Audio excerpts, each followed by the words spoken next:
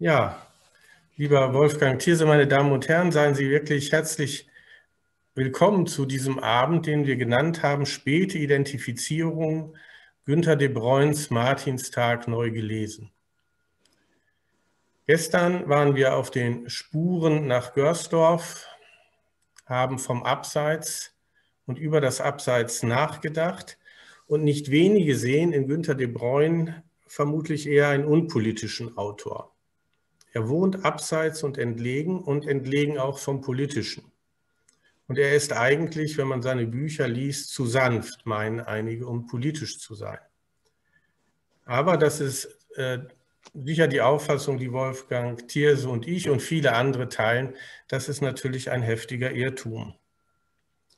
Über die Kraft einer unspektakulären Widerstandskraft, politischen Widerstandskraft hinaus verfügte Günter de Bruyne und das ist der Ansatzpunkt für heute Abend, offenkundig über einen besonderen politischen Instinkt, eine Witterungskraft, denn er ahnte schon am 10. November 1989 jene späten Identifizierungen mit der ehemaligen DDR, die heute, 30 Jahre nach der deutschen Einheit, vor allem bei politischen Intellektuellen anzutreffen ist. Ich nenne nur Thomas Oberender, den Intendanten der Berliner Festspiele. Da wird geträumt von einer neuen Synthese von Demokratie und Sozialismus, die damals in den sechs Monaten zwischen November 89 und März 90 möglich gewesen wäre. Da wird vielleicht auch die deutsche Kulturnation geleugnet und natürlich die ständige Klage über eine Marginalisierung der Ostdeutschen durch den Westen. Das sind bekannte Begriffe, die immer wieder aufkommen. Und wir nehmen jetzt Günter de Bruyns Erinnerung an den Martinstag zum Anlass, um mit Günter de Bruyne und über Günter de Bruyne hinaus uns die Frage zu stellen, wie steht es denn nun mit dieser Kritik, die dort geäußert wird. Und als ich Wolfgang Thierse gefragt habe, ob er sich zu dieser Reihe zu Günter de Bruyne, auf die wir jetzt kamen, die sollte ja eigentlich das Patronatsfest werden, einen ganzen Tag zu Günter de Bruyne, ob er auch bei diesen Zoom-Konferenzen am Abend mitmacht. Da hat er sofort zugesagt und dieses Thema vorgeschlagen. Den Martinstag aus den 40 Jahren vor Augen sagt er, darüber lass uns doch an dem Abend reden.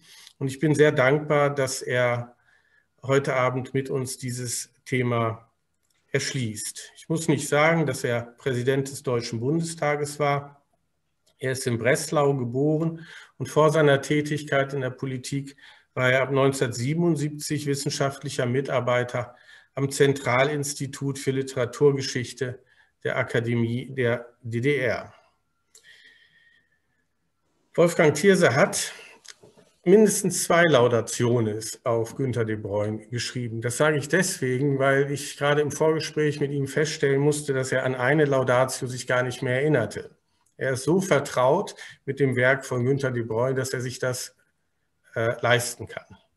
Also er hat nicht nur die Laudatio äh, für die Verleihung des Kulturpreises äh, für deutsche Sprache an Günter de Bruyne gehalten, das war 2006, sondern auch bei der Verleihung des Johann Heinrich Merck Preises für literarische Kritik und Essayistik.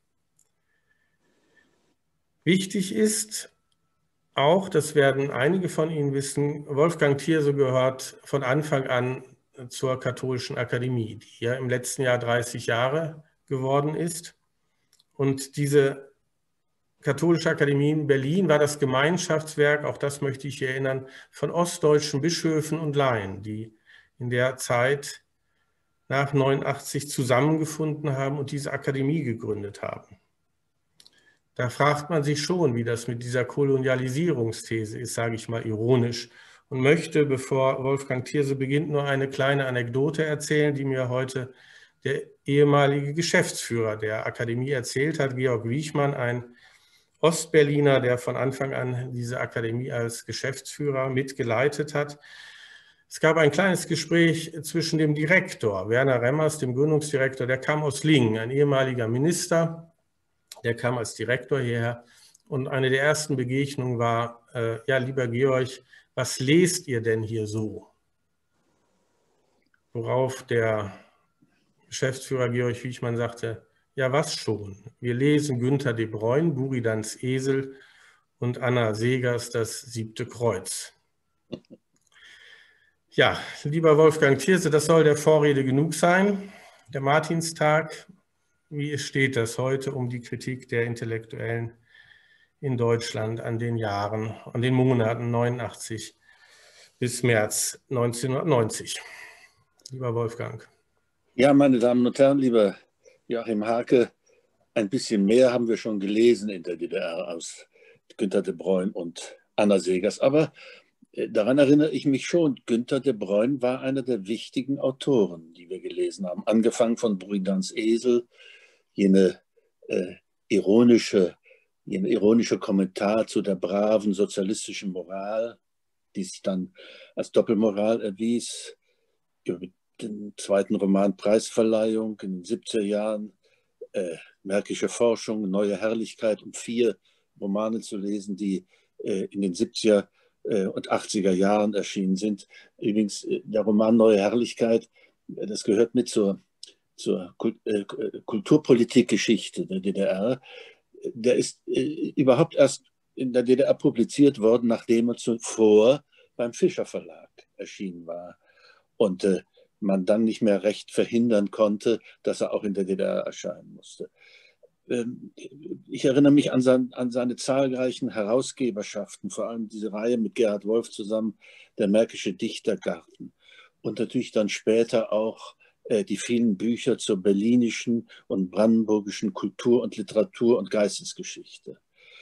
Ähm, meine Erinnerung an ihn als DDR-Autor war zunächst, er verschwand hinter seinen Büchern. Es gab ihn als öffentliche Person nicht. Er war kein lauter Autor, kein Autor des öffentlichen, politisch-weltanschaulichen Bekenntnisses, sondern eben ein Autor der, der leisen, kritischen Ironie, der subtilen Gesellschaftskritik, der genauen Beobachtung der Binnenverhältnisse in der DDR, der kleinen bürgerlichen Welten und ihrer Deformationen, der behutsamen Zeitgenossenschaften, gerade auch in seinen historischen Stoffen man las seine Bücher dann eben mit genauso leise, mit so leisem und zustimmendem Vergnügen.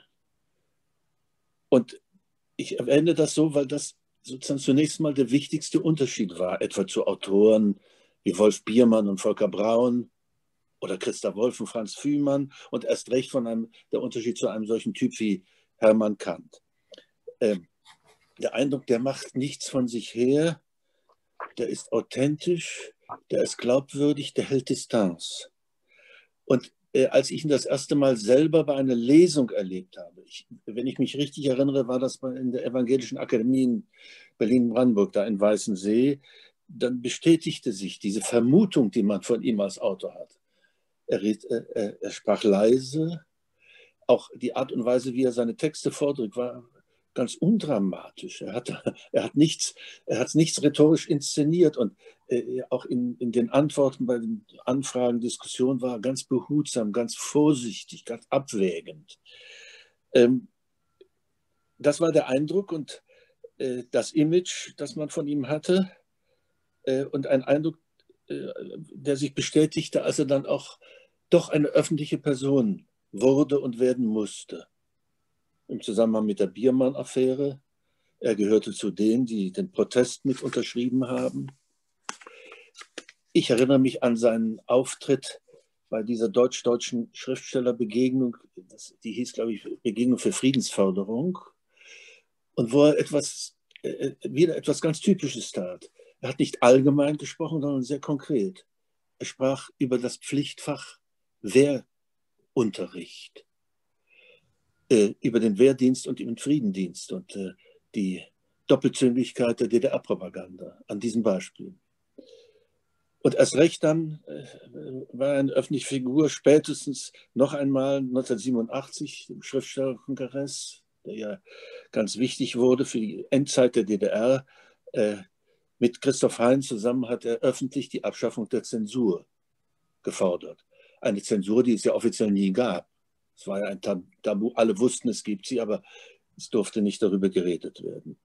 Das ist zunächst mal die Erinnerung und als ich dann äh, die beiden autobiografischen Bände las, äh, die in den 90er Jahren erschienen ist, Zwischenbilanz über seine Kindheit und Jugend und dann den, vor allem den zweiten Band 40 Jahre, ein Lebensbericht untertitelt. Eine wunderbare Lektüre und ein Beleg äh, für seine wache Zeitgenossenschaft und eben wie ich das empfinde und als ich jetzt wieder äh, hineinschaute in der Vorbereitung des heutigen Abends, das ist ein Dokument von persönlicher Demut und von selbstkritischer Aufrichtigkeit. Da ist, das ist kein, kein, kein triumphalistischer Rückblick, äh, äh, kein Versuch der Selbstrechtfertigung, sondern da ist er genau, sozusagen, er bestätigt das positiv freundliche Vorurteil daran. Und äh, äh, als ich das jetzt wieder las, 40 Jahre, es sind ja auch meine 40 Jahre, obwohl ich ja 17 Jahre jünger bin, aber ich habe auch die ganzen DDR-Jahre erlebt. Dieser zweite Band endet mit dem Ende der DDR, eben 40 Jahre, mit einem Kapitel, dessen Titel Martinstag heißt. Es ist der 9. November 89, auf den das Ende der DDR terminiert ist und die Tage danach. Und daraus will ich zehn, zwölf Sätze vorlesen, um das ein bisschen zu vergegenwärtigen, wie das ist, wenn Günter de Bruyne sich politisch erinnert. Ein knappes Jahr lebte die DDR noch weiter, aber in meinem privaten Fest Festtagskalender ist dieser Tag als der ihres Endes verzeichnet. Denn ein Gefängnis, in dem Tore und Türen geöffnet werden, hört auf, eins zu sein. Zum zweiten Mal in meinem Leben genoss ich das Glück, den Zusammenbruch einer Macht erleben zu können, die sich selbst weisgemacht hatte, auf Dauer gegründet zu sein. Ein tausendjähriges Reich und die staatliche Verkörperung einer ganzen Geschichtsepoche, einschließlich seiner, nach Honeckers Meinung, mindestens noch 100 Jahre stehenden Mauer überlebt zu haben, berechtigt doch wohl zu Triumphgefühlen. Wieder war das befreite Aufatmen können, diesmal Gott sei Dank ohne Zerstörung und Blutvergießen, Frucht einer Niederlage gewesen. Und wieder würde die Grenze zwischen den Jubelnden und den Klagenden nicht an den Landesgrenzen entlang, sondern quer durch die Bevölkerung gehen. Jeder Tag der Befreiung ist auch einer der Niederlage. Der Chef des Staatssicherheitsdienstes wird das anders als der politische Häftling in Bautzen sehen. Hätte ich damals schon ahnen können, dass später manche vom Verlauf der Geschichte enttäuschten Leute alle Ostdeutschen als Verlierer oder Besiegte bezeichnen würden, hätte ich, da ich mit, mich ungern mit Mielke und Hager, mit Oberzensoren und Parteifunktionären, Mauerschützen und willfährigen Strafrichtern in einen Topf werfen lasse, mich schon im Voraus beleidigt gefühlt. Ich war ein Gewinner der Niederlage, der, wenn er nicht stellvertretend für arbeitslose und unschuldige Opfer der Eigentumsrückgabe sprechen wollte, höchstens zur Klage über eigenes Ungenügen berechtigt war. 40 Jahre, 40 Jahre lang hatte ich den anderen Teil Deutschlands, mit dem ich kritisch immer mitgelebt hatte, als den freieren empfunden, war aber hauptsächlich aus Gründen der Bodenhaftung nicht in ihn übergewechselt und schließlich, ohne die Gegend, die es mir angetan hatte, aufgeben zu müssen, doch in ihm angelangt. Soweit das Zitat. Sie haben es gehört. Das ist die Erinnerung an die eigene Freude, die eigene Begeisterung und zugleich die Vorahnung von emotionalen Spaltungen unter den Ostdeutschen. Beschrieben schon vor 25 Jahren. Das war für mich, als ich es jetzt wieder las, eine Überraschung. Geschrieben vor 25 Jahren und es trifft doch die eigentümlich gespaltene Wahrnehmungs- und Gefühlslandschaft der Gegenwart im Osten Deutschlands. Nur ein paar Beobachtungen dazu und ich fange mit der Oberfläche an. Selbst Corona spaltet Deutschland. Thüringen und Sachsen liegen gegenwärtig an der Spitze. Ausgerechnet der Ostbeauftragte der Bundesregierung, der CDU-Abgeordnete Marco Wanderwitz, stellt einen Zusammenhang mit der Stärke der AfD in den betroffenen Regionen her. Die AfD-Erfolge im Osten sind deutlich größer. Und jedes Mal nach Wahl, solchen Wahlergebnissen geht es wieder los. Was ist nur mit dem Osten los? Und auf intellektueller Ebene, Joachim Hake hat schon darauf hingewiesen, gibt es eine Gruppe von Leuten, die plötzlich 30 Jahre nach staatlicher Vereinigung und friedlicher Revolution über eine andere Vereinigung sinnieren, äh, über die Chance, die vertan wurde zu einem anderen wirklichen Sozialismus. Damit sind wir bei, wenn ich das richtig beobachte, bei der eigentlichen Widerspruchskonstellation, mit der wir es zu tun haben. Ausweichlich, ausweislich aller Untersuchungen und Umfragen sagt eine große Mehrheit der Ostdeutschen, ihre wirtschaftliche Lage sei gut. Und auch nach objektiven Daten geht es der sehr, sehr großen Mehrheit der Ostdeutschen materiell deutlich besser als zu DDR-Zeiten. Zugleich aber empfindet sich eine Mehrheit als Bürger zweiter Klasse, artikulieren viele ostdeutsche Erfahrungen der Nichtanerkennung, Gefühle der Unterlegenheit und Zurücksetzung, betrachten sich gar als Opfer und Vergessene. Vergessene. Dabei ist in den vergangenen 30 Jahren ökonomisch, sozial, kulturell viel geleistet worden. Aber, auch das kann man doch nüchtern feststellen, wir sind noch nicht am Ende des Weges und offensichtlich vor allem nicht am Ende der Ost-West-Debatten, der Debatten über Ost-West-Differenzen. Anlässlich der 30-Jahres-Jubiläen in den letzten beiden Jahren ging es wieder besonders heftig zu. Ost-West-Ungereimtheiten, Fremdheiten, Vorwürfe, eine unüberhörbare Missmutsgemeinschaft Ost, der von der AfD betriebene Verbitterungspopulismus, fatalen DDR-Gleichsetzungen, die wir auf den Pegida- oder Corona-Demos hören konnten. DDR 2.0, Stasi-Methoden, staatshörige Medien und so weiter und so fort. Alles das zeigt mir und zeigt auch, wie viel sowohl unbearbeitete DDR-Vergangenheiten als auch schmerzliche Transformationserfahrungen der letzten drei Jahrzehnte nach wie vor virulent sind. Und es zeigt mir, wie sehr Ossiland emotional und kulturell zerstritten und gespalten ist. Offensichtlich ist die DDR-Vergangenheit noch längst nicht ausgestanden. Also, wenn der Befund richtig ist, dann leite ich daraus ab, eine selbstkritisch selbstbewusste Debatte bleibt notwendig und sie muss neu geführt werden, damit die Ostdeutschen nicht mehr das Gefühl und vielleicht auch die Ausrede nicht mehr haben, es werde über sie, aber ohne sie geredet. Damit sie tatsächlich selbst zu Wort kommen und auch selbst das Empfinden haben, zu Wort zu kommen, was ja nicht ganz identisch ist. Allerdings meine ich, sollte es um eine vielstimmige Diskussion äh, gehen, in der nicht nur die das Wort führen, die ihre Ressentiments von rechts oder links artikulieren und bestätigt sehen wollen. Eine Diskussion übrigens auch nicht nur unter Ostdeutschen.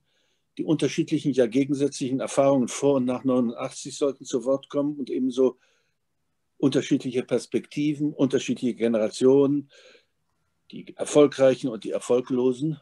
Und das Ziel müsste sein, ganz im Sinne von De Bruyne, die Hoffnungen, die Illusionen, die Enttäuschungen zur Sprache zu bringen und zu bearbeiten.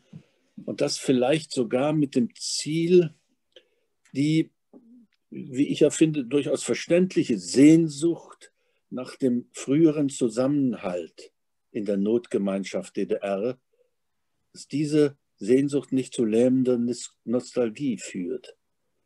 Das ist eine ziemlich enorme, vor allem kulturelle Aufgabe, gerade für Ostdeutschland, wo die, vielleicht übertreibe ich, wo die massenhafte persönliche und familiäre Auseinandersetzung mit der eigenen DDR-Geschichte bisher eher ausgeblieben ist. Wo eine Mehrheit zwischen trotziger Verteidigung der eigenen Biografie, das kann man verstehen, dem Nachtrauen über verpasste Chancen und sehr, sehr viel Sprachlosigkeit schwankt, bis hin zu leichtgängigen Schuldzuweisungen an den Westen, die auch dazugehören. Auch dies alles hat Günter de Bruyne schon ziemlich genau beschrieben. Vor 20 Jahren Ich erlaube mir noch einmal ein Zitat aus einem anderen Buch. Das heißt Deutsche Zustände, ist ein paar Jahre später, in den 90er Jahren erschienen. Und da heißt es, ein paar Sätze nur, am Anfang stand, als die Einheit Wirklichkeit wurde, eine zu große Erwartung, die notwendigerweise enttäuscht werden musste, weil sie von Alltagssorgen und Marktwirtschaftshärten nichts wusste. Eine Fernsehbildrealität. Dann kam die Überforderung durch Neuheit und Freiheit. Ohne den Ort zu wechseln, war man in andere Verhältnisse versetzt worden, mit anderem Geld, anderen Werten, anderen Gesetzen, mit einer anderen Zeitungs- und Behördensprache. Aus einer bevormundeten Sicherheit war man in eine risikoreiche Selbstverantwortung entlassen worden. Gelerntes war unnütz oder falsch geworden. Kein Wunder, dass man unsicher wurde und unversehens nach dem Ende der DDR eine DDR-Identität entdeckte. Als psychischen Halt in der Vergangenheit, in der man Bescheid wusste und sich zu behaupten oder zu verkriechen verstand. Folge davon war Erinnerungsschwäche. Aus dem Gedächtnis verschwunden sind damalige Unfreiheit und der täglich spürbare Mangel. Kein Gedanke gilt mehr dem Verlangen, ja der Gier nach westlichen Waren und Werten. Was allein zählt vom Vergangenen, ist nur die Tatsache, dass man die Sorgen, die einen heute bedrücken, nicht hatte und damit zusammenhängt nicht diesen Mangel an Selbstwertgefühl. Bewusst wird er nicht, dieser Mangel zumindest nicht eingestanden. Er tritt als Trotz oder Wut oder Selbstmitleid in Erscheinung, manchmal auch als moralische Überhebung. Als ich das jetzt wieder las, habe ich wieder gestaunt, welch präzise Beobachtung der Analyse. Wir haben tatsächlich über vieles zu reden. Es gibt viel Diskussionsstoff unter Ostdeutschen. Ich will nur sechs Punkte nennen, wo ich meine, da ist die Diskussion dringend notwendig. Erstens, wir haben zu reden über eine lange, nachwirkende, tiefe autoritäre Prägung. Selbstverantwortliche, selbstbewusste Bürgerschaft konnte sich in der DDR nicht so sehr entwickeln. Die war schließlich als SED-Diktatur ein autoritärer Staat oder wie Rolf Henrich in seinem berühmten 1989 erschienenen Buch sie genannt hat, ein vormundschaftlicher Staat. Und von organisierter Verantwortungslosigkeit hatte Rudolf Barrow schon in den 70er Jahren gesprochen. Nachwirkungen dieser Prägung werden immer wieder laut in Vorwürfen an die da oben, an die im Westen, die sollen es richten, die sind schuld, die sollen doch erstmal uns integrieren. Zweitens erinnere ich, und das tut auch weh, an die unbewältigte Nazi-Erbschaft. Die DDR hatte es sicher leicht gemacht, das Nazi-Erbe einfach an den Westen delegiert. Es gab bei uns eben kein kulturelles 1968. Ausländerfeindlichkeit und Antisemitismus gab es immer in der DDR. Sie wurden unter den Teppich gekehrt. 40 Jahre eingesperrt sein, hat Folgen. Man lese einmal Ines Geipels Buch Umkämpfte Zone, um das Ineinander von braunen und roten Diktaturprägungen in Biografien zu verstehen. Drittens erinnere ich an unsere zähen ostdeutschen Minderwertigkeitskomplexe. Wir Ostdeutschen haben ja immer mit dem Blick nach Westen gelebt. Jeden Abend sind wir via Fernsehen in den Westen ausgewandert. Und wir haben uns schon wegen dieser Blickrichtung immer notwendigerweise als den schwächeren, weniger erfolgreichen Teil empfinden und empfinden müssen. Der Vergleich mit dem Westen wirkt aber bis heute nach in allen Debatten über den Stand der deutschen Einheit. Das ist eines der Probleme der Gegenwart. Viertens, die Kritik am deutschen Einigungsprozess ist nach und nach wohlfeil und bei einigen geradezu schick geworden das Reden über die vertanen Chancen von 89, ein anderer Sozialismus, eine andere Art von Einheit. Nun bin ich wahrlich kein Hegelianer, um das, was wirklich geworden ist, allein deshalb schon für vernünftig zu halten. Aber ein etwas nüchterner Rückblick tut doch Not. Gab es 1990 wirklich eine Alternative zum Beitritt der DDR zum Bundesblick nach Artikel 23. Ich erinnere an die Beschleunigungsfaktoren, die Ungeduld der DDR-Bürger. Kommt die D-Mark, bleiben wir, kommt sie nicht, gehen wir zu ihr. Der faktische Zusammenbruch der DDR-Wirtschaft, die außenpolitische Ungewissheit, keiner wusste, ob Gorbatschow, ob die Sowjetunion der Einheit zustimmen wird, wie lange das geht. Der Putsch ein Jahr später hat unsere Unsicherheiten bestätigt. Also es gab unerhörte Beschleunigungsfaktoren. Aber füge ich dann gleich nüchtern und ohne Vorwurf hinzu, aus der erzwungenen Beschleunigung ergab sich das Grundmuster der deutschen Einigung, über das man ohne moralische Schuldzuweisung sprechen sollte. Es war die Vereinigung von zwei Ungleichen, von einem erfolgreichen System und einem gescheiterten System. Im Westen wirkte der Zusammenbruch des ostdeutschen Systems als Bestätigung des Status quo im Osten bewirkte er radikale Veränderungen. Oder um es noch drastischer zu sagen, warum sollte jemand in Freiburg im Breisgau denken, bei ihm müsse sich etwas ändern, nur weil die in Leipzig den Kommunismus erledigt haben? Wem soll ich das vorwerfen? Die einen wurden Lehrmeister, die anderen Lehrlinge. Das ist ein schmerzliches Beziehungsverhältnis, das gerade im Osten langanhaltende Wirkungen erzeugte. Und erinnern möchte ich auch an die durchaus patriarchale Prägung, die Helmut Kohl dem Einigungsprozess gegeben hat. Seine beruhigenden Versprechen nach dem Motto, ich nehme euch an die Hand und führe euch ins Wirtschaftswunderland, diese Versprechungen haben gewirkt und zu großen, ja zu grandiosen CDU-Wahlerfolgen geführt. Aber ich füge sofort hinzu, wir Ostdeutschen sollten ehrlich sein. Eine Mehrheit wollte, wollte in ihrer Zukunftsunsicherheit den Versprechungen glauben, wollte so schnell wie möglich unter das rettende Dach der Bundesrepublik Deutschland. Je größer die Versprechen allerdings und je größer die Erwartungen und das Glauben wollen, umso größer die späteren Enttäuschungen. Bis heute wirkt das nach. Und fünftens, besonders laut war im vergangenen Jahr die Klage, Ostdeutschland würde von einer westdeutschen Elite beherrscht und Ostdeutschen hätten in den vergangenen 30 Jahren kaum Führungschancen gehabt. Als hätten die Ossis Gauck, Merkel, Thierse nicht die höchsten Staatsämter in dieser Zeit inne gehabt oder noch bis heute. Von kulturellem Kolonialismus, ist schon zitiert worden, wurde gesprochen vom Osten als abgehängte Region, ist die Rede von Demütigung und Missachtung. Nun muss man daran erinnern, dass jede Revolution, und sei sie noch so friedlich, nicht ohne Personalwechsel, ohne Elitenwechsel auskommt. Wir wollten schließlich die alten SED-Eliten loswerden. Und das ging unter den obwaltenden Bedingungen nicht ohne die Übernahme von Posten und Ämtern durch Westdeutsche.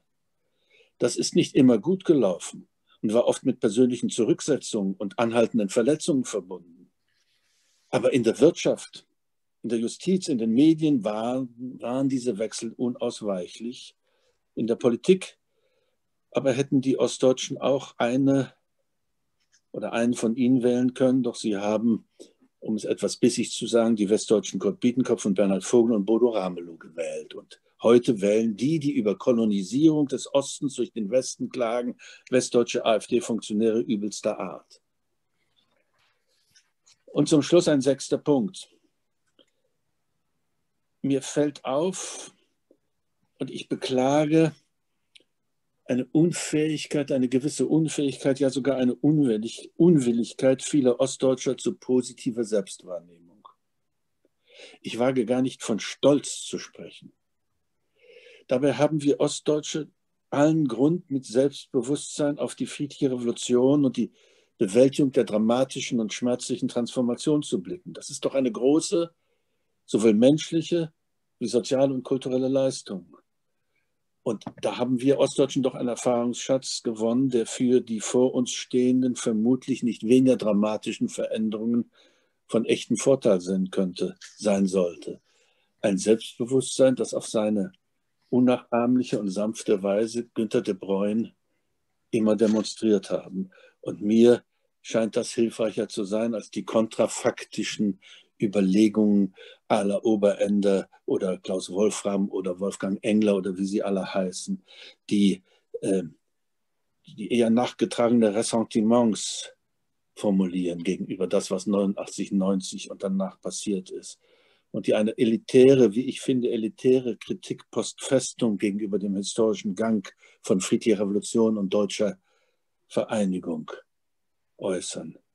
Ich kann nicht sehen, dass man daraus das gewinnt, was ich positive Selbstwahrnehmung und Selbstbewusstsein nenne, von dem ich mir wünsche, dass äh, es viel mehr Ostdeutschen haben. Denn, das ist mein letzter Satz, nach 30 Jahren sind wir doch endgültig so weit. Die Nachahmungsphase Ost an West ist vorbei. Jetzt haben wir gemeinsame Aufgaben. Die ökologische Katastrophe verhindern, die Globalisierung bewältigen, die digitale Transformation, die, den demografischen Wandel, die ethnische, religiös-weltanschauliche, kulturelle Pluralisierung und sogar ganz aktuell die Corona-Pandemie. All diese Herausforderungen unterscheiden nicht mehr nach Ost und West. Aber wir können aus unterschiedlichen Erfahrungen an ihrer Bewältigung mitwirken. Das wäre ostdeutsches Selbstbewusstsein aller Günter de Bruyne. Wolfgang Thierse, vielen Dank für diesen Durchgang durch den Martinstag und die von dir markierten ostdeutschen Dispositionen. Ich möchte, um da jetzt einen Fuß in die Tür zu kriegen, auf systematische Art anfangen bei dem Satz von, von De Bruyne, wie kann man da keine Triumphgefühle haben? In dem, in dem Kapitel Martinstag, da ganz zu Anfang, da beschreibt er seine, seine Stimmung. Und die, die, die vornehm oder die erste Stimmung ist die des Jubels, seiner Freude. Und dann sagt Günter de Bruyne, von dem du ja gesagt hast, dieses demütige Selbstbewusstsein dieses Autors und Menschen, und dann mischt sich bei ihm unter dieses, diesen vordergründigen Jubel auch der Abschiedsschmerz von Freunden, von Notgemeinschaften. Auch die Erinnerung, dass er vielleicht nicht immer seinen Beitrag zur Befreiung geleistet hat und so. Aber auf jeden Fall, er weiß, das in Sprache zu bringen, die gemischten Gefühle. Und wenn man das durchmustert, das Buch, dann ist immer von diesen gemischten Gefühlen die Rede, aber immer mit einem gewissen kleinen Vorrang des Jubels, der Freude, der Ermunterung. In den deutschen Zuständen gibt es eingangs das Bild, da steht er am Alexanderplatz und dann kommt die U-Bahn, die auf einmal beide Stadtteile miteinander verbindet. Und dann sagt er, ich fühle in mir das Gefühl ungläubigen Staunens hochkommen. Das ist ja ein ganz toller Satz, das kennen wir auch aus anderen Kontexten, ungläubigen Staunens. Und er verschweigt nie die Gemischtheit der Gefühle. Und jetzt hast du gerade die Missmutsgemeinschaft in Ostdeutschland beschrieben, also offensichtlich die Unfähigkeit, auch diese Freude zu intuieren. Würdest du das auch für den Westen sagen? Sind, ist nicht der Westen auch, wenn ich das so heute sehe, auch mit Blick auf die letzten 30 Jahre irgendwie auch so disponiert, dass es mit dieser demütigen Freude, also ja offensichtlich auch da nicht so weit bestellt ist? Also zunächst mal erinnere ich mich, er hat, Günter de Born hat ja dann noch einmal ein Sammelband herausgegeben mit dem programmatischen Titel Jubelschreie, Trauergesänge. Aber um auf deine Frage einzugehen, ich finde ja, in bestimmter Weise hatten wir Ostdeutschen mehr Anlass zu Jubel und zur Freude. Nach 40 Jahren eingesperrt sein, auch nach 40 Jahren des Umstandes, dass wir äh, die eigentlichen Verlierer der Nazi-Katastrophe waren. Ich werde nie vergessen, mein, mein, mein Gefühlserlebnis, als ich zum ersten Mal vor dem wunderbaren Bremer Rathaus stand und mein Blick eher zufällig nach links auf eine Hauswand fiel. Und da steht der Satz, Gedenket der Brüder, die das Schicksal unserer Trennung tragen. Und das ging mir durch Mark und Bein und sagte, ja, so war es. Wir Ostdeutschen haben den härteren Teil der Teilung zu tragen gehabt. Aber wem will ich das vorwerfen? Niemanden. Und deswegen glaube ich, ist der größere Anlass für Freude und Jubel, daraus hervorzukommen. Und die im Westen hatten ja weniger. Da kam plötzlich die DDR hinzu und dann das Gefühl, jetzt müssen wir die vielleicht auch noch für die sorgen. Äh, die, die, die Sorge dafür, dass sich die Bundesrepublik ändert, das hat mich ja, als ich frisch in der Politik ja unerhört geärgert. Dieses Grundgefühl, nichts ändern zu wollen und nichts ändern zu müssen. Aus Anlass dieses unerhörten Ereignisses der deutschen Einheit, der Überwindung des Ost-West-Gegensatzes. Äh, äh, und das hat ein paar Jahre gedauert, ehe auch die politische Klasse in, in, alten, in der alten Bundesrepublik im Westen begriffen hat. Äh, die Änderungsphase beginnt auch sie zu betreffen. Also da glaube ich schon, dass es einen solchen Ost-West-Unterschied gegeben hat. Aber schon wichtig ist, dass die Ostdeutschen doch wahrnehmen, die Westdeutschen, Entschuldigung, wahrnehmen, äh, dass das doch eine, ein, ein, ein, ich glaube immer noch eine Mehrheit der Ostdeutschen, und da sind die Umfragen ja auch deutlich, der Einheit zustimmt, positiv die Entwicklung bewertet. Aber diese Missmutsgemeinschaft aus gibt es, den Verbitterungspopulismus, den die ARD betreibt. Und der bekommt sein Echo, sein mediales Echo, auch im Westen. Und dann kommt es sofort die Vorwürfe, die undankbaren Ossis. Das ist ja von Anfang an immer eine Klaviatur, die gespielt worden. Die arroganten Wessis, die undankbaren Ossis, immer ist das gespielt worden. Und das Schöne ist, dass der De Bruyne das in aller Ruhe und ähm, ähm, sanft, und das ist ja unser Lieblingswort bezogen auf De Bruyne, äh, immer schon äh, festgestellt hat und aufgeschrieben hat. Es hängt das nicht wesentlich auch, du hast das ja angedeutet, es scheint ja auch, also das ist ein Problem der Gefühle, die Macht der Gefühle, auch der, des nicht umgehen können mit ambivalenten Gefühlen, Missmutsgemeinschaft.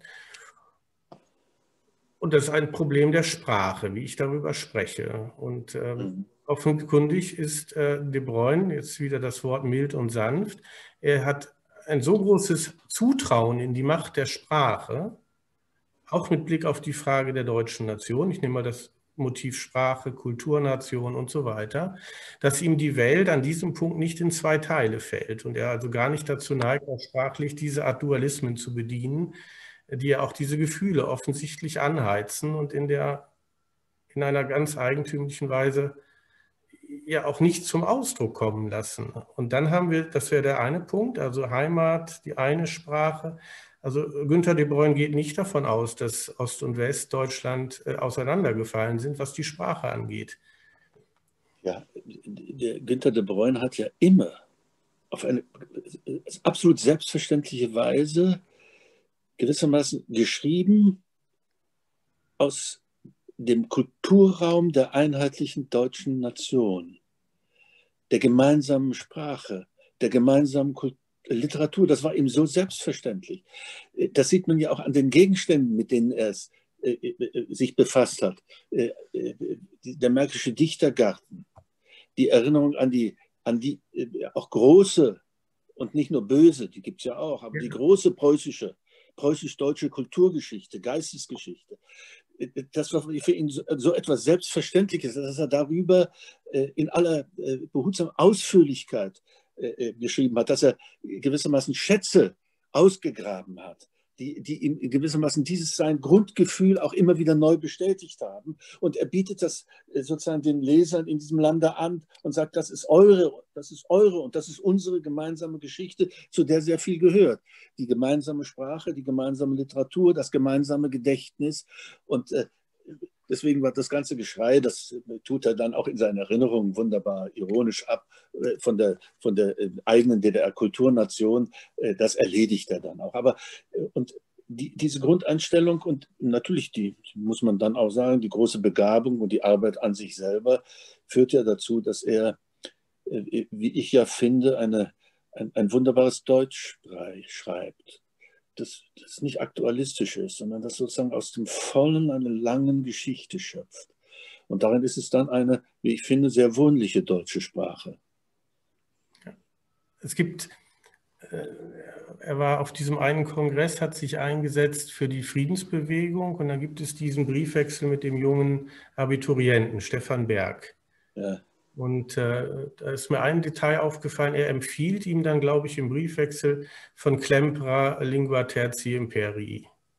Also ja. auch da hochsprachbewusst das Wissen um die Sprache ja. und die Politik. Das, daran erinnert mich auch gut, einer meiner Freunde hat äh, nach langem Hin und Her das Vorwort oder Nachwort geschrieben zur Veröffentlichung von LTI von Klemperer bei Reklam. Mhm. Das hat sehr lange gedauert, ehe das in der DDR erscheinen konnte.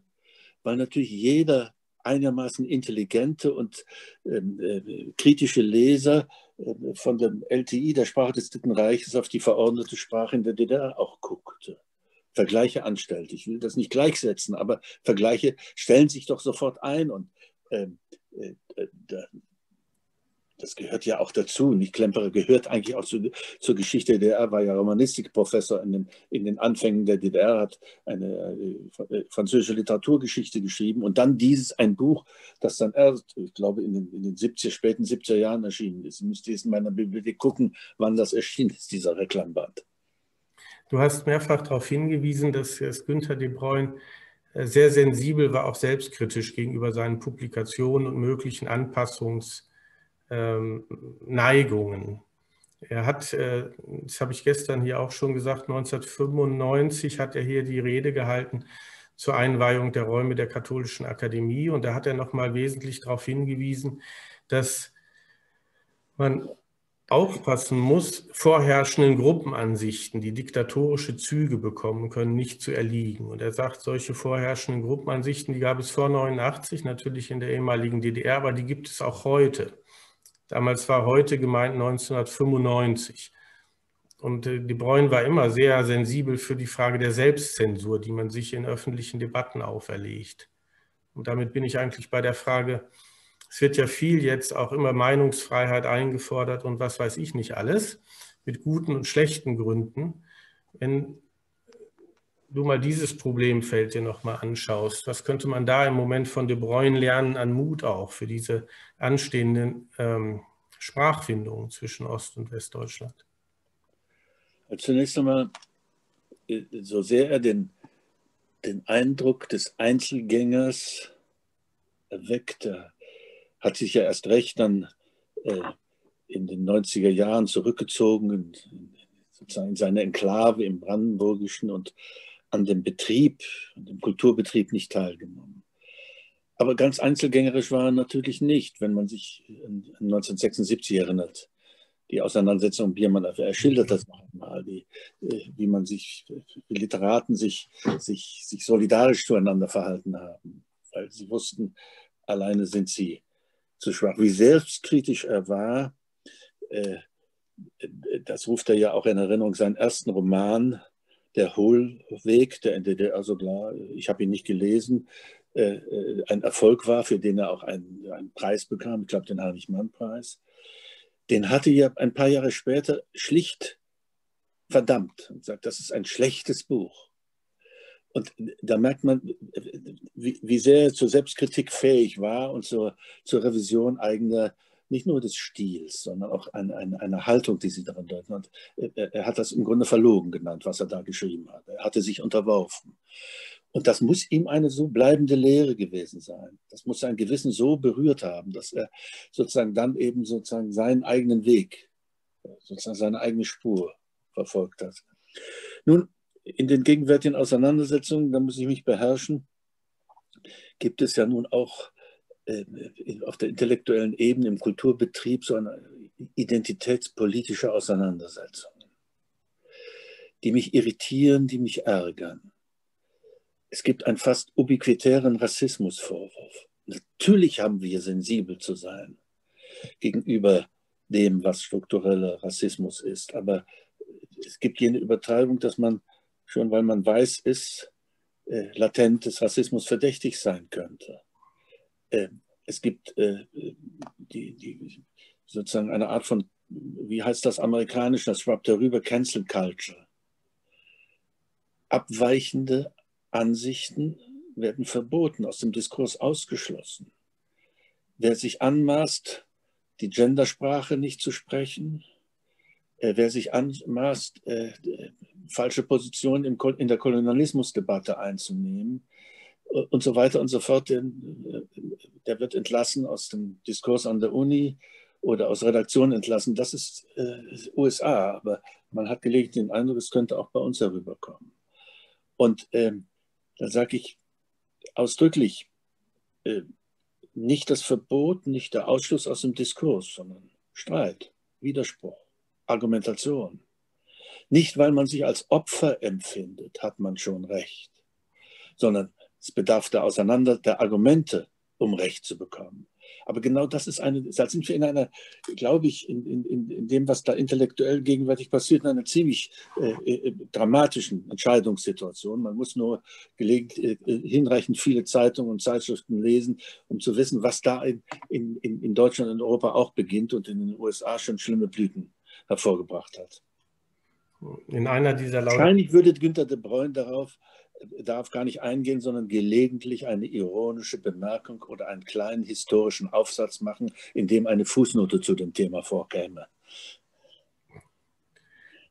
Du hast in deinen Laudationis, ganz genau, er würde vielleicht über das Schloss, wir haben es gestern gehört, Kostenblatt, 200 Seiten schreiben und das mit Fußnoten versehen oder eben diese feinen Forschungen machen. In einer Laudation ist, die du gehalten hast, hast du sehr emphatisch auch gesagt, dass natürlich diese 40 Jahre, dass es auch dein Buch ist und deine Erfahrungen widerspiegelt. Und auch an einem Punkt gesagt, äh, wie wichtig es war, von De Bruyne zu lesen, dass die Heimat, auch dieser Begriff ist ja, sagen wir mal, nicht ganz so leicht immer zu benutzen, ähm, ja, die Heimat, das ist eben doch die Literatur und das ist die Sprache. Und die, äh, diese Literatur und Sprache, die untertunnelt und unterfängt auch staatliche äh, Gebilde wie damals Deutschland und die DDR.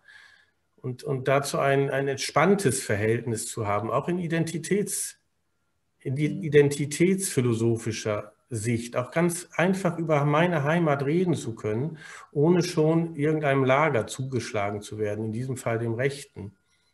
Mhm. Ähm, ja, ja, wer heute äh, positiv und freundlich über Heimat redet, macht sich in bestimmter Weise schon äh, äh des Konservativismus oder des, äh, der reaktionären Haltung verdächtig. Da bin ich aber trotzig. Ich bin der tiefen Überzeugung, dass wir alle noch die kosmopolitischsten und dynamischsten und erfolgreichsten Menschen tiefes Bedürfnis nach Beheimatungen haben.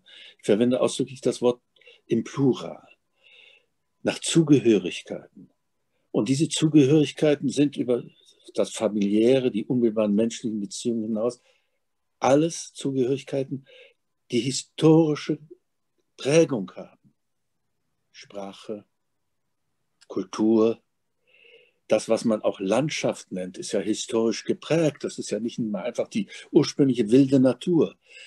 Das, äh, äh, Gesellungsformen, Alltags, alltagskulturelle alltagskulturelle Geflechte, all das ist, gehört dazu. Darin suchen wir und finden wir Beheimatung. Und wer das denunziert, der ist arrogant und elitär. Der widerspricht einem tiefen äh, Bedürfnis.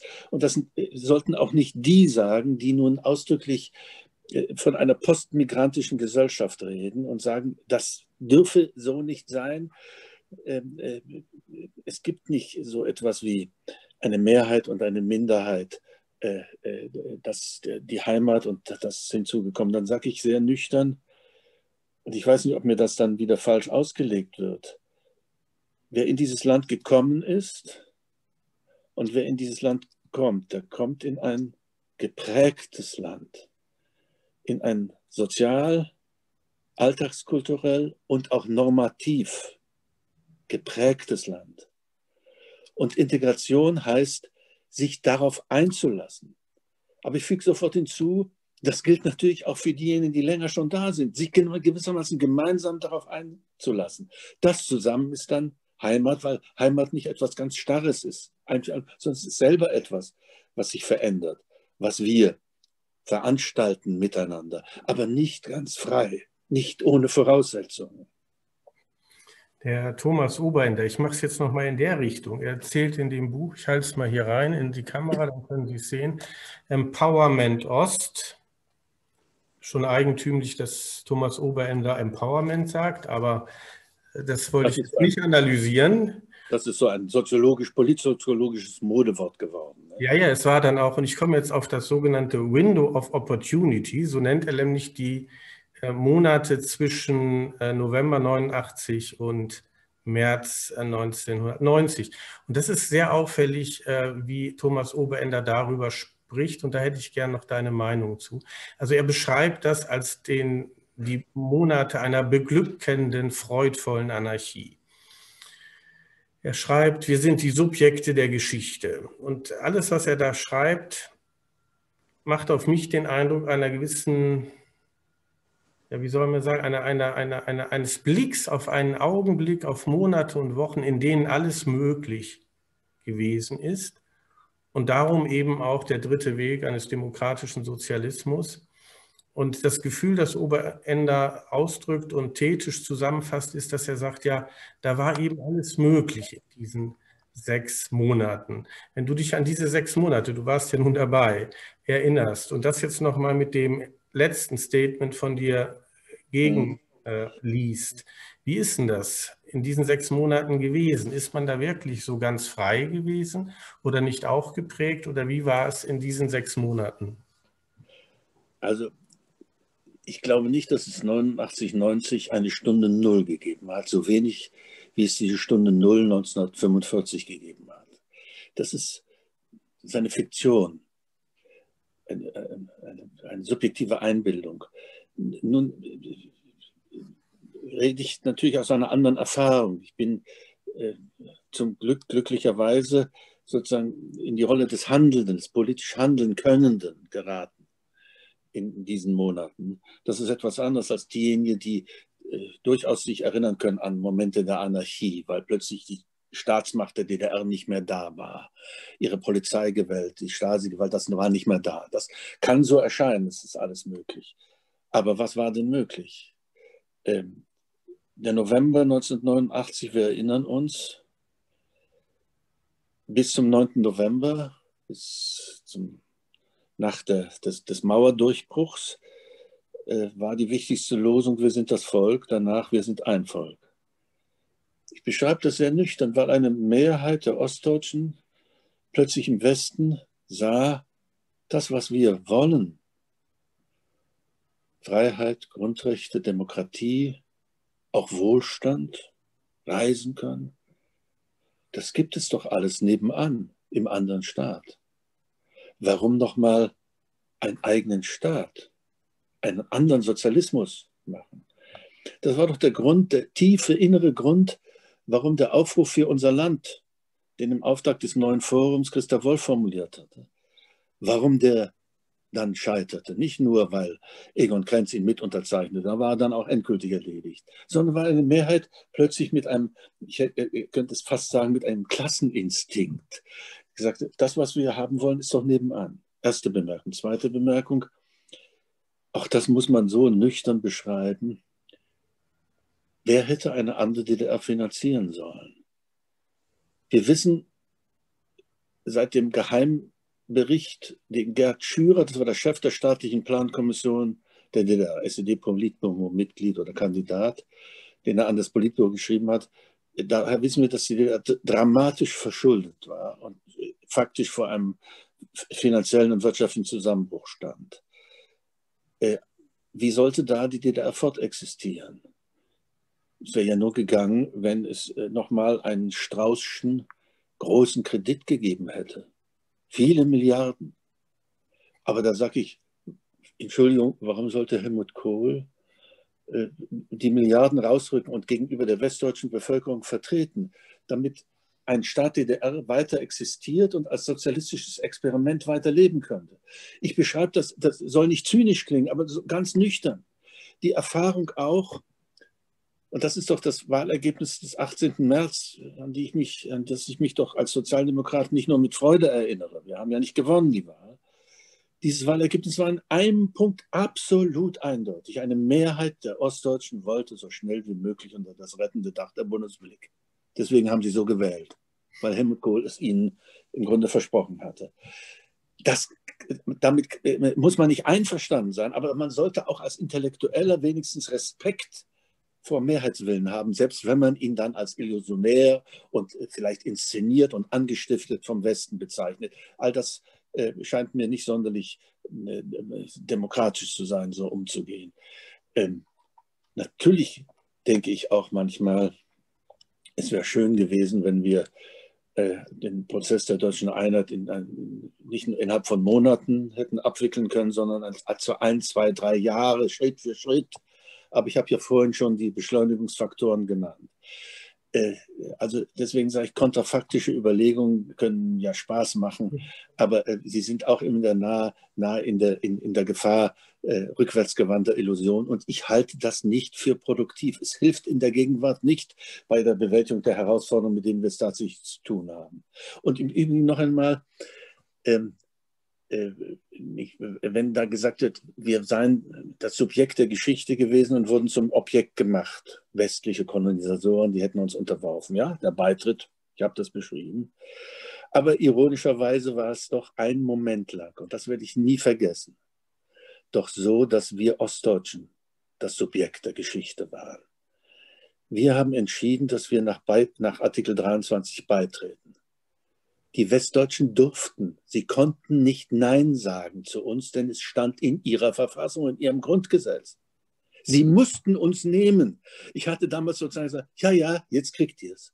Etwas ironisch gesagt. Aber in, das war ein kurzer Moment, wo wir tatsächlich das Subjekt der Geschichte waren und nicht das Objekt. Die Westdeutschen mussten uns nehmen und äh, ähm, die Verwicklungen die folgten, die Probleme, ähm, die waren nicht alle sichtbar, aber ich erinnere mich daran und darf ich mich selbst zitieren.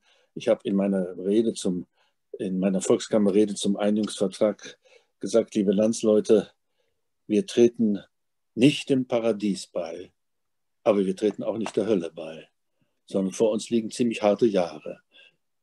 Manche wollten es damals nicht hören. Und äh, äh, auch heute gibt es noch Leute, die es immer noch nicht hören wollen, dass es so ist. Wir sind nicht ins Paradies gelandet und wir sind nicht in der Hölle gelandet. Lieber Wolfgang, das ist ein zu schöner Abschluss für unser Gespräch. Das, ähm, morgen werden wir auch über den Katholiken und äh, den Preußen und den widerständigen De Bruyne reden. Du bist ja auch für viele ein äh, katholischer Preuß und ein preußischer Katholik. Nicht Himmel, nicht Hölle, am Ende noch theologische ähm, Kategorien. Ja, das war sehr eindrucksvoll. Auch nach gestern, ich muss, darf das nicht vergessen, der Norbert Hummel schrieb mir noch, er hatte einen Fehler gemacht gestern. Er hat den, den Einzelheiten de Bruyns getraut und er sagt, eine Einzelheit hat er falsch dargestellt in seinem Buch über die Hedwigskathedrale. Daraufhin hat ihn der, äh, darauf hat ihn der Sohn von de Bruyne hingewiesen, es sei nicht die Mühle gewesen, in der De Bruyne gewohnt habe, in Blabber 1, sondern das Haus für die Schafe. Das findet man aber weder in der Kindheit noch in den 40 Jahren. Das möchte ich noch nachtragen und dir, lieber Wolfgang, danken für all die Einzelheiten und die genaue Abschichtung der anstehenden Probleme. Günther de Bruyne scheint uns viel sagen zu können. Vielleicht sollte 40 Jahre, Marco Martin hat das irgendwo geschrieben, sollte Schullektüre verpflichtend werden in Deutschland. Ja, es lohnt sich auf jeden Fall. Oder hast du das schon mal irgendwo gefordert? Nein, habe ich noch nicht, aber äh, ich bin da auch vorsichtig mit Schullektüre, weil Gut. Schullektüre ja gelegentlich zwiespältige Wirkungen hat. Aber auf jeden Fall empfehle ich, das Buch noch einmal zu lesen, auch denjenigen, die es schon mal gelesen haben. Man liest es mit neuer, fast vergnügter Betroffenheit. Vergnügte Betroffenheit, na wenn das nichts ist, lieber Wolfgang, ja, dann danke ich Ihnen allen sehr, die Sie aufmerksam uns gefolgt sind und gefolgt haben hier auf dem äh, ja, digitalen Weg. Draußen steht jetzt kein Büchertisch. Bleiben Sie uns verbunden. Lesen Sie 40 Jahre von Günter de Bruyne. Schauen Sie morgen rein, Thomas Brose, katholisch, widerständig und preußisch. Und ja, heute am Tag des heiligen Thomas von Aquin, dir vielen Dank. Heute ist ein Patrozinium. Das wollen wir noch erinnern. Bleiben Sie der Akademie verbunden und herzlichen Dank, Wolfgang Thierse.